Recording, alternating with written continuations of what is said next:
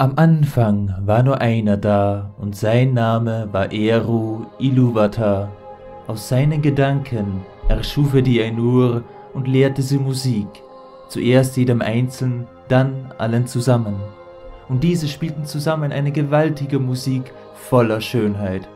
Doch unter den Ainur war einer, der mächtiger war als all die anderen, und aus seinen Gedanken wob er eigene Töne in die Musik ein, welche das Thema störten. Sein Name war Melkor.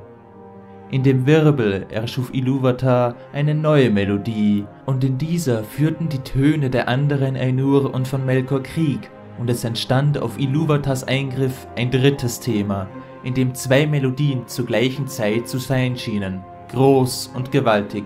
Als die Musik dann beendet war, ging Iluvatar mit den Ainur aus seinen Hallen in die Leere und zeigte ihnen das Lied und eine Vision der Welt und was darin geschehen wird.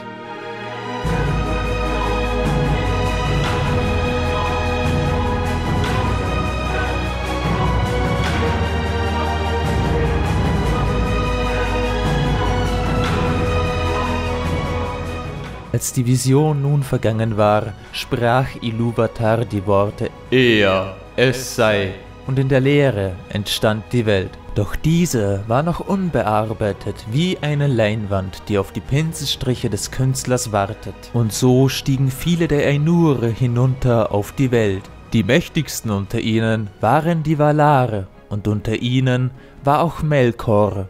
Die wichtigsten und mächtigsten Valar waren die Aratare, die folgende Namen trugen.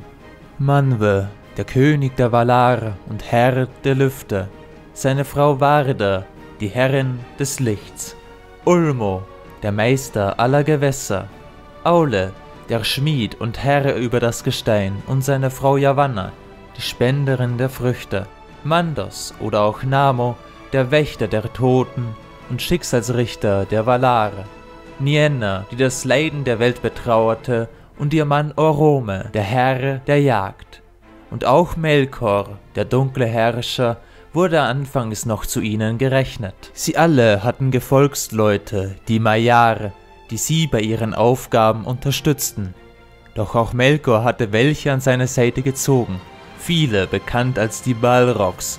Doch der bekannteste unter seinen Dienern war Sauron, der sein Potenzial erst viel später offenbaren sollte. Und so begannen sie, die Welt zu erbauen für die Kinder Iluvatars, von denen sie wussten, dass sie diese Welt beleben sollten. Diese waren allein von Iluvatar ersonnen und die Ainur hatten keinen Einfluss auf ihre Gemüter.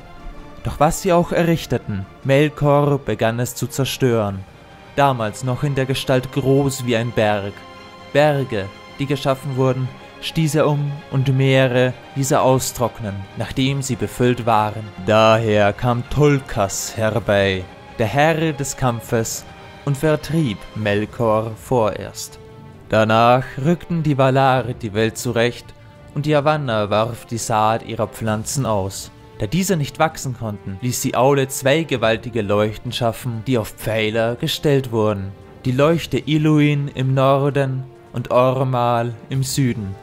Zwischen den Leuchten lag ein See und in diesem die Insel Almaren, auf der die Valar wohnten. Aber als die Valar ein Fest feierten und Aule und Tulkas von der harten Arbeit schliefen, kam Melkor zurück und grub weit im Norden seine Festung Utumno. Von dort aus griff er die beiden Leuchten an und brachte sie zu Fall. Durch die Wucht der beiden Leuchten zerbarst die Landfläche und dort, wo die Pfeile waren, entstanden Binnenmeere. Die Symmetrie der Welt war zerstört. Die Valare gingen weg nach Haman und weg von dem Kontinent, der ab sofort einen neuen Namen trug, Mittelerde. Melkor konnte den Valar entkommen. Er war nun der Herr von Mittelerde. Die Valar gründeten ihr Reich Valinor, die unsterblichen Lande. Dies lag hinter den von ihnen aufgetürmten Pelori, es war ein Ort voller Schönheit und alles dort war heilig. Doch das Heiligste würde es kommen, denn die Welt war da noch dunkel. Und so schuf Yavanna mit Hilfe von Nienna auf dem Hügel Esselohar die beiden großen Bäume. Telperion den silbernen und Laurelin den goldenen, die beide abwechselnd leuchteten. Während die Valaren nun geduldig auf das Erwachen der ersten Kinder warteten, mehrte Melkor seine Macht. Er ließ eine zweite Festung errichten, Angband, regiert von seinem Statthalter Sauron. Und einer der Valar konnte das Erwachen nicht erwarten. So schuf Aule in Hallen unter Mittelerde die Zwerge. Er machte sie so, dass sie Melkor gut widerstehen konnten, robust und dickköpfig. Sieben von ihnen schuf er, die sieben Zwergenväter. Iluvatar sah dies und sprach zu ihm und lehrte ihn, dass die Zwerge ohne Geist seien und sich nur bewegten, wenn Aule an sie dachte. Also sollte er sie mit einem Hammer erschlagen. Und als er diesen erhoben hatte und ihn auf sie niederschmetterte, da wichen sie aus. Iluvatar hatte Mitleid mit Aule und hauchte den Zwergen Leben ein. Doch sollten sie erst erwachen, sobald die Elben es waren. Aule erzählte dies freudig seiner Frau Javanna, doch sie war in Sorge um ihre Pflanzen und vor allem um die Bäume. Also ging sie zum Manwe, ihn betend, dass etwas für den Schutz der Pflanzen getan werde. Dieser rief in Gedanken Iluvatar an, und jener gab an Manwe weiter, dass mit dem Erwachen der Elben Geisterwesen beseelen sollten, die zum Schutz der Pflanzen da sind. Und so sind die Ents entstanden. Da Mittelerde nur wenig Licht hatte, nahm Varda den Blütenstaub von Telperion und setzte neue Sterne in den Himmel, heller und schöner als die vorherigen, damit Mittelerde für die Kinder erleuchtet sei. Und dann geschah es. Imin erwachte und sah die Sterne. Er war der erste Elb, und der Ort, an dem er war, war der See Kuivienen, ein Abschnitt des großen Meeres, das die Leuchten geschaffen haben. Nach ihm erwachten Tata und Enel. Ihre Namen bedeuteten der Erste, der Zweite und der Dritte. Nach ihnen erwachten ihre Frauen. Die sechs gingen nun den See entlang und trafen auf sechs weitere Elbenpaare. Diese nahm Imin zu sich, da er der Älteste war. Diese 18 entwickelten miteinander den Vorläufer der Elbensprache, und als sie weitergingen, trafen sie auf weitere 18, die Tata unter seine Fittiche nahm. Und umso weiter sie gingen, desto mehr wurden es. Imin erkannte dieses Muster und wartete, um neue zu sich zu nehmen. Jedoch wartete er zu lange, und nachdem Enel die letzten 48 zu sich nahm, kamen keine neuen nach. Die drei Gruppen hatten nun folgende Namen. Die Minjar, welche nur 14 waren, die Tatjar 56 Elben und die Neljar als größte Gruppe mit 74. Das Größenverhältnis der Stämme zueinander sollte sich für lange Zeit nicht ändern und schon bald wurden sie entdeckt, jedoch leider von den Falschen. Melkors Diener hatten sie zuerst entdeckt und diese warnten die Elben vor einem dunklen Reiter, der sie jagen würde. Gemeint war damit Orome, der in Mittelerde Melkors Brut jagte. Doch noch eine weit grässlichere Tat wurde da von Melkor begangen. Manche Elben wurden weggebracht nach Utumno, wo sie gefoltert, gebrochen und versklavt wurden. So entstand das schreckliche Volk der Orks eine nützliche Waffe für den dunklen Herrn. Als Orome und sein Pferd Nahar dann per Zufall auf die Elben trafen, waren diese zuerst verängstigt und trauten ihm nicht. Nachdem er dann eine Weile bei ihnen war, ritt er wieder zurück nach Valinor. Dort wurde beschlossen, Melkor zum Schutz der Elben anzugreifen. In Mittelerde angekommen, zerstörten sie zuerst Angband, doch waren sie nicht genau bei ihrem Werk und Sauron blieb versteckt. Als sie dann nach Utumno kamen, stellten sie Wachen vor Kuiviernen, damit die Elben nicht viel mitbekamen. Jedoch bemerkten sie, wie die Erde bebte, und sie sahen den Schein der Flammen im Norden. Die Valar gruben sich nun in die tiefe Festung und nahmen Melkor fest und zerstörten Utumno. Doch dieser Ort war sehr tief gegraben und die Geografie von Arda veränderte sich erneut. Melkor wurde nach Valinor in den Schicksalsring Mahanaxar gebracht und wurde dort zu 300 valischen Jahren in Mandos Kerkern verurteilt. Orome ging danach zurück nach Kuivienen und dort lud er die Elben nach Valinor ins Segenreich ein. Doch diese waren verängstigt von dem, was sie wahrgenommen haben im Krieg. Daher wählte Orome drei aus, die mit ihm gehen sollten, einer von jedem Volk. Ingwe für die Minjar, Finwe für die Tatjar und Elve für die Neljar. Und nachdem sie das Segenreich und das Licht der Bäume erblickt hatten, berichteten sie von diesem wundervollen Land. Nun kam es zu einer großen Trennung, denn nicht alle wollten mitgehen. Doch gingen alle Minjar mit und die Hälfte der Tatjar, und von den Neljar trat ein großer Teil die Reise an. Jene, die mitgingen, wurden Eldar genannt, die, die blieben, Avari. Und auch nahmen die drei Stämme neue Namen an. Die Minjar wurden zu den Vanjar, welche blond und den Valar sehr verbunden waren. Aus den Tatjar wurden die Noldor mit dunklen Haaren und kräftigen Körpern, ihres Zeichens meist sehr handfertige Schmiede und immer wissbegierig. Und die Neljar wurden zu den Teleri, von denen viele dem Meer oder den Wäldern verbunden waren. Sie waren schwächer als die Noldor, hatten aber auch dunkles Haar. Nur das Königsgeschlecht hatte helles. So gingen sie unter dem Sternenhimmel gen Westen, bis zu einem Fluss, den man später den Anduin nannte. Unter Lenwe spaltete sich dort ein Teil der Teleri, Nandor genannt, ab, denn sie hatten Angst, das Nebelgebirge zu überschreiten. Die Eredluin wurden zuerst von den Noldor und Vanyar überschritten. Die Teleri kamen erst später nach, wodurch sie ihren Namen die Hintersten bekamen. Die Noldorer lagerten im Wald von Neldoref und die Teleri waren am Gelionstrom. Elve wollte Finwe, den Anführer der Noldor, in seinem Lager besuchen. Als er da durch die Wälder von Nan Elmoth kam, sah er etwas Sonderbares. Eine Frau, deren Gesicht strahlte. Sie war Melian, eine Maya, verwandt mit Yavanna. Als er sie aus Liebe berührte, blieben sie lange dort stehen. Die Teleri suchten lange nach ihm, doch vergebens. Während dieser Suche kamen die Vanyar und Noldor an der Küste an. Sie wurden mit Hilfe der Insel Tolleressia nach Aman gebracht, denn der Weg über die Helkeraxe im Norden war zu tödlich und riskant. Die Teleri blieben noch lange und suchten nach Elve, schlussendlich wollten aber viele auf den Weg. Angeführt wurden sie durch Olve, dem Bruder von Elve. Doch viele blieben in Mittelerde, darunter auch Kirdan, der an der Küste blieb. Sein Volk waren die Falafrem. Die Teleri wollten nun, als ihre Insel bei Aman ankam, vorerst auf dieser bleiben. Und so blieb es.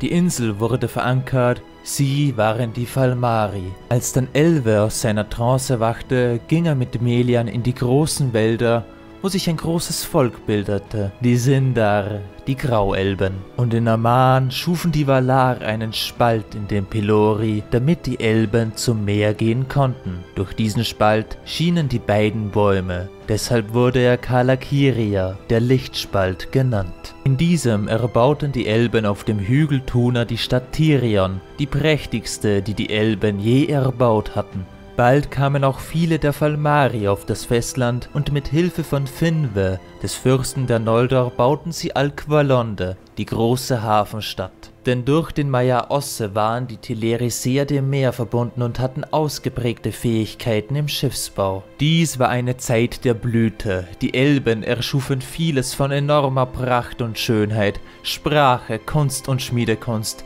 Alles entwickelte sich weiter. Doch der Größte unter den Elben sollte erst geboren werden. Und so kam es, dass Finwes Frau Miriel ihm einen Sohn gebar. Sein Name war Feanor. Doch sie hatte so viel Kraft in ihn gesteckt, dass ihr Geist ihren Körper verließ, worauf sich Finwe nach einigen Jahren eine neue Frau suchte und zwei weitere Kinder mit ihr, Indis, einer Vanya-Elbin hatte, Fingolfin und Finarfin. Feanor schuf nun vieles, darunter die Elbenschrift Tengwar und auch die Palantiri, sehende Steine, die miteinander verknüpft waren. Doch sein größtes Werk würde erst kommen. Die Vanya waren zu jener Zeit vollständig aus Tirion nach Valimar gezogen.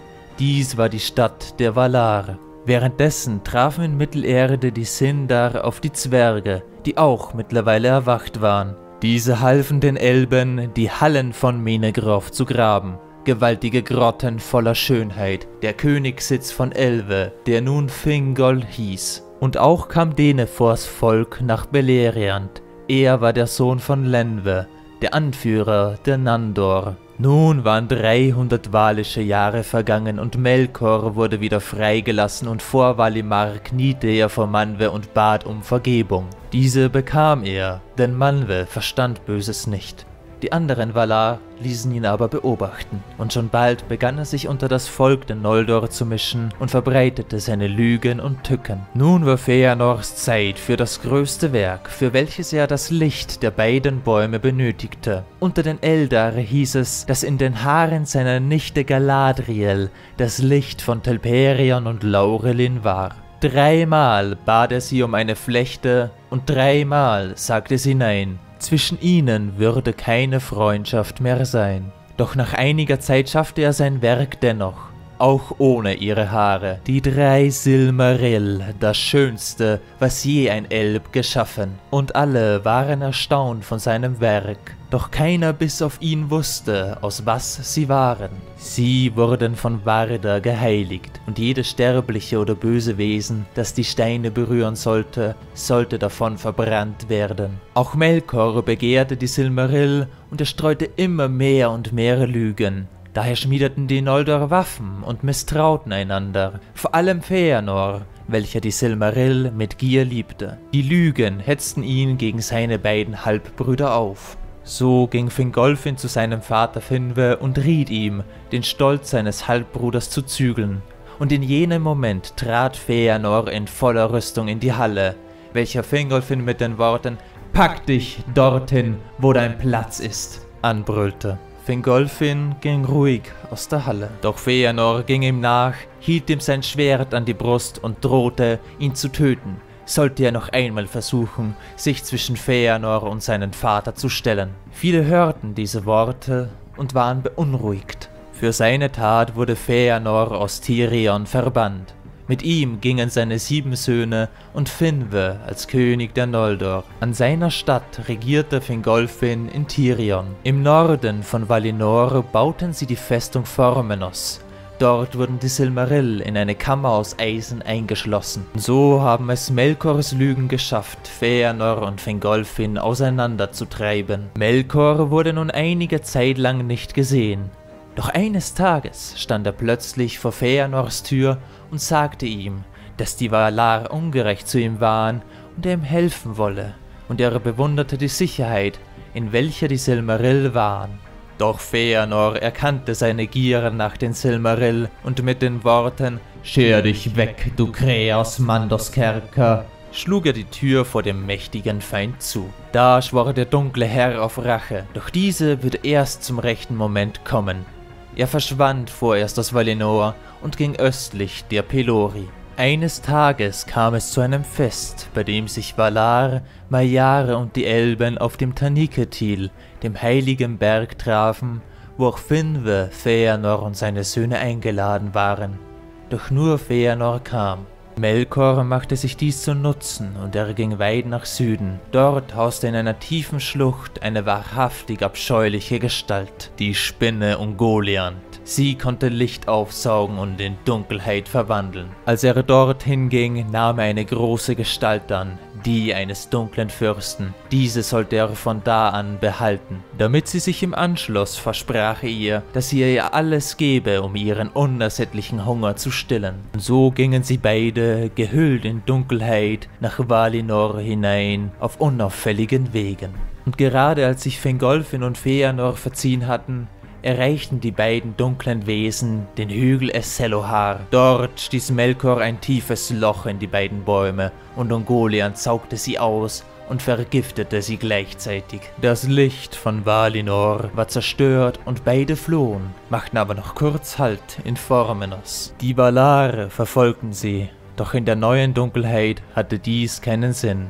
Melkors Rache war vollbracht. Nun sollte Feanor seine Silmaril aufopfern, um die Bäume mit dem Licht, das in ihnen eingeschlossen war, zu retten. Doch er verneinte diese Bitte und sagte den Valar, dass sie wahrhaftig aus dem gleichen Geschlecht wie Melkor seien. Doch danach kam in der Bitterkeit der Stunde auch noch Nachricht von Formenos, dass die Silmaril gestohlen und Finwe ermordet wurde. Da wurde Feanor zornig und verfluchte Melkor und nannte ihn Morgoth, den dunklen Feind der Welt, und ab sofort wurde er so genannt. Dieser kam jedoch selbst in Schwierigkeiten, denn nachdem er mit der Spinne die Helkaraxe überschritten hatte, wollte sie, wie abgesprochen, von ihm gefüttert werden. So gab er ihr die Gemmen, die er gestohlen hatte, hielt jedoch die Silmaril fest in seiner rechten Hand, obwohl sie ihn verbrannten. Jedoch war Ungoliant unglaublich gewachsen und eher geschrumpft durch das Licht der Bäume und die Macht, die er aufgegeben hatte,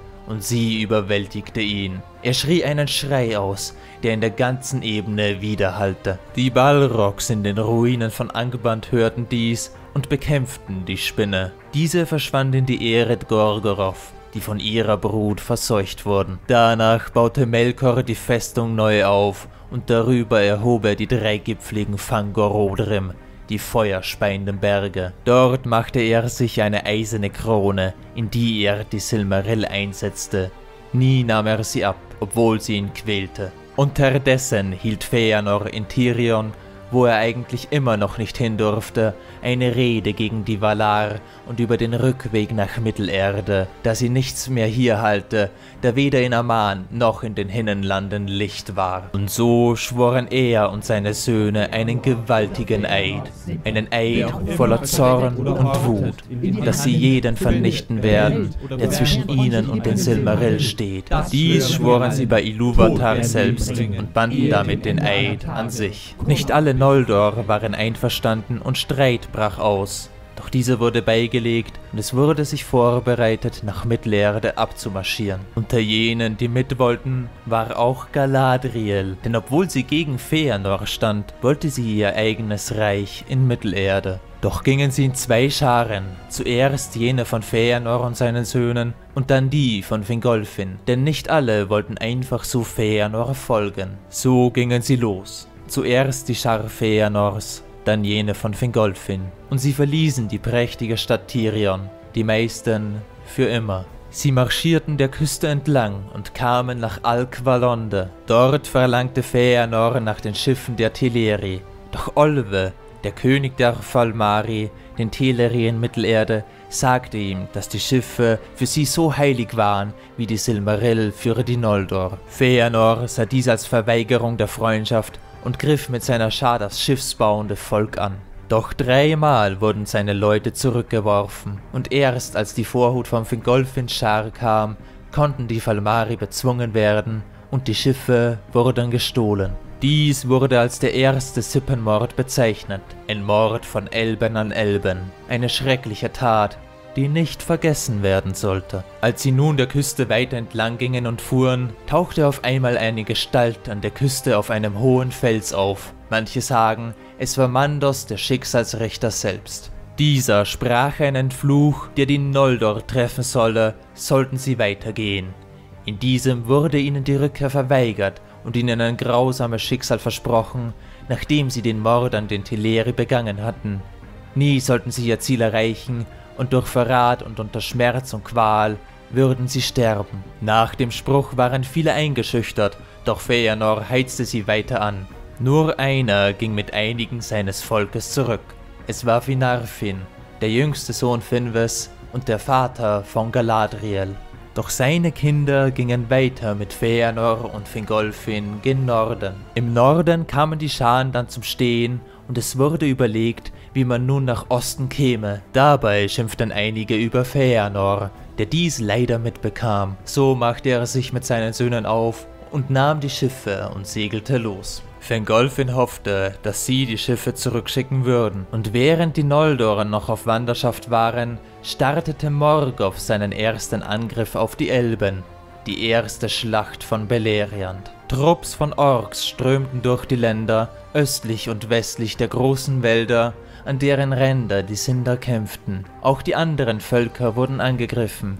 Die Falafrim und der Kiridan wurden ans Meer gedrängt und die Städte Eglarest und Brifombar wurden belagert. Sie waren von Fengol abgeschnitten. Dieser kam mit Denefors Volk zusammen. Doch im Gegensatz zu den Sindar hatten diese keine Waffen von den Zwergen und sie waren den Orks unterlegen. So fiel auf dem Berg Amon Ereb Denethor und seine Elben zogen sich zurück aus jedem Kriegsgeschehen und hatten keinen neuen Anführer mehr. Sie waren ab sofort die Laik-Wendi, die Grünelben. Doch im Osten konnten die Orks bezwungen werden. Als Fingol zurückkehrte, machte Melian einen Schutzzauber um die Wälder, die ab sofort Doriath hießen, das bewachte Königreich. Und zu jener Zeit erreichten Feanor und seine Söhne die Küsten von Mittelerde bei Losgar. Als Maedhros, der älteste Sohn der Sieben, fragte, ob man die Schiffe zurücksenden könne, ließ Feanor sie verbrennen. Fingolfin sah dies und war enttäuscht von seinem Halbbruder, doch wollte er weiterhin in die großen Lande von Mittelerde. So ging seine Schare den gefährlichen Weg über die Helkaraxe. Aber nicht nur er sah das helle Feuer, auch Morgoths Speer nahmen es wahr.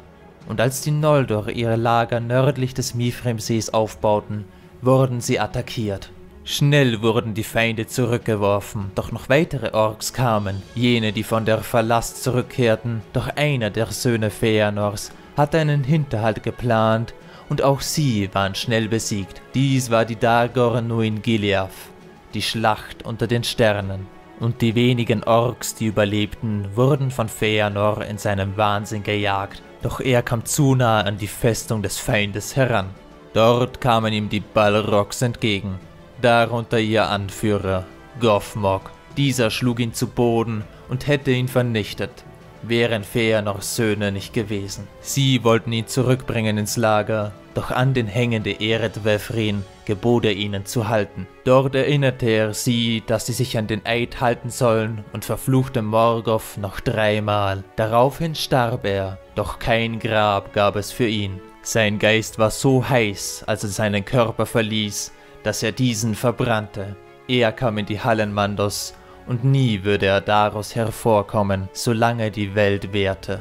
Und bald nach seinem Tod kam eine Nachricht von Morgoth, dass er seine Niederlage anerkennt und die Rückgabe eines Silmarils anbot. Maedhros ließ sich darauf ein, wissend, dass es eine Falle sein könnte. Daher nahm er Truppen mit und ging zu dem Treffen. Die Truppen des Feindes waren jedoch stärker und alle Elben außer Maedhros wurden erschlagen und er wurde an die Fangorodrim gekettet. Währenddessen wurden die Gebiete von Hiflum befestigt und zu dieser Zeit erreichten die Noldor unter Fingolfin die Lande von Mittelerde.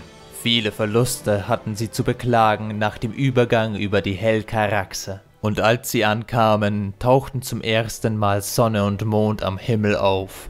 Geschaffen wurden sie aus den letzten Überbleibseln der beiden Bäume Telperion und Laurelin, und mit ihrem Aufgang erwachten die Menschen im Osten, die im Vergleich zu den Elben kein endloses Leben hatten. Sie machten sich auf nach Westen, wo sie die Sonne zum ersten Mal aufgehen sahen. Und Valinor wurde verschlossen, die Peloria höht und das Meer vor dem Land wurde ungestüm und gefüllt mit verwunschenen Inseln. Dies waren die Zeitalter der Leuchten und die Zeitalter der Bäume, eine Zeit des Beginns und im Zentrum der Geschichte standen gegeneinander der mächtigste Ainur und der mächtigste Elb. Die Geschichte von Morgoth und Feanor. Doch aufgrund seines Eids würden Feanors Söhne nicht von ihrer Mission ablassen und im kommenden Zeitalter würden sie versuchen, diese Mission zu erfüllen. Dies war nur eine grobe Zusammenfassung dieser Zeit. Ausführlicher ist sie in der Reihe Tolkien chronologisch beschrieben. Bitte teilt dieses Video, falls es euch gefallen hat und ihr anderen Leuten diesen Teil des Silmarillions übersichtlich erklären wollt. Abonniert doch gerne den Kanal. Damit bedanke ich mich fürs Zusehen. Den ersten Abschnitt haben wir jetzt durch. Es bleibt mir nur noch zu sagen, ich wünsche euch einen wunder, wunderbaren Tag und auf Wiedersehen.